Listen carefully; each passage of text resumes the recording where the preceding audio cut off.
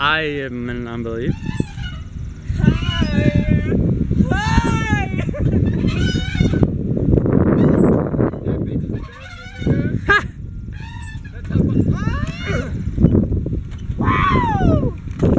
That kind of makes like